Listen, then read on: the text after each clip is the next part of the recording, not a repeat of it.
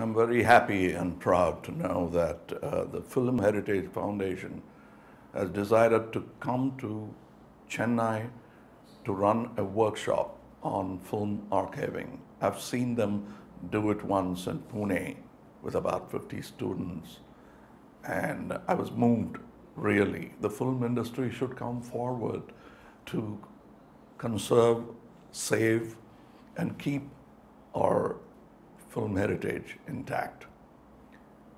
And uh, this very important uh, workshop is going to teach future archivists how to go about preserving film. It's a very important workshop for those interested in cinema itself.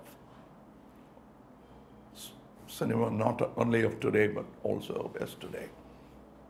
And uh, the entry for this workshop, uh, the forms will go out into public by July 15th.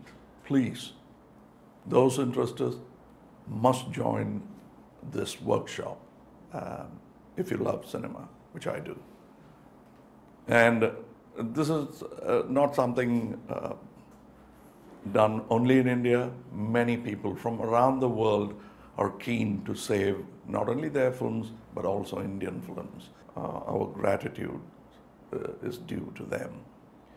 And uh, those people who are helping uh, run uh, this workshop are International Federation of Film Archives, uh, Martin Scorsese's Foundation, La Immagine Ritrovata, Academy of Motion Picture Arts and Science, uh, La Cinémathèque Française, Imperial War Museum, um, our own Prasad Corporation, uh, Fondazione, Cineteca de Bologna, and Kodak. I hope to see definitely those 50 people come forward and enroll themselves in this very important workshop that is done by Film Heritage Foundation. Thank you for coming to Chennai. Welcome to Chennai.